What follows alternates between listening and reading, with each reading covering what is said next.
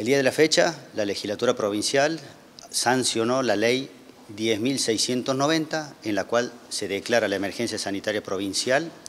En ese marco emitimos eh, una resolución ministerial, la cual instruimos a los financiadores del sistema de salud, llámese obras sociales o medicina prepaga, a realizar la cobertura de todos los tratamientos, diagnósticos y seguimientos eh, de los pacientes que estén afectados por la patología coronavirus, ya sea en la parte domiciliaria mediante las eh, empresas de atención domiciliaria, empresas de emergencia o ya sea la internación en instituciones privadas, con toda la complejidad que pueda generar la patología abordando a estos pacientes, ya sea en eh, terapia intensiva o en sala de internación común.